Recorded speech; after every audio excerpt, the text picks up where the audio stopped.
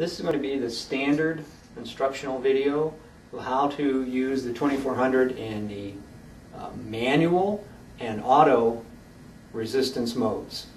In the auto, that does not mean it is the auto range for the resistance. It means that we can use this as a DMM only. So it's going to source a little current, measure a little voltage.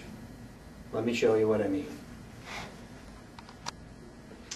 After power up, if you were to just select ohms or resistance with the ohms button, notice it changed to ohms, and notice it says I source of 10 microamps. That's because we have a 100 k ohm resistor on the terminals.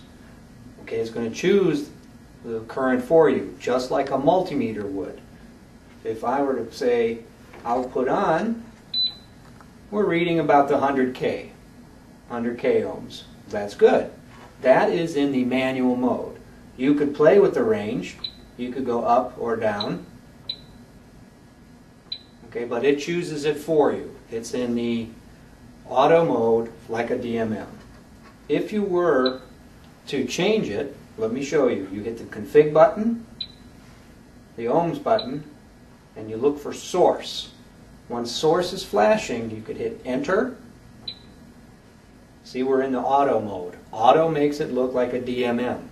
If you were to select manual mode, hit enter, then exit.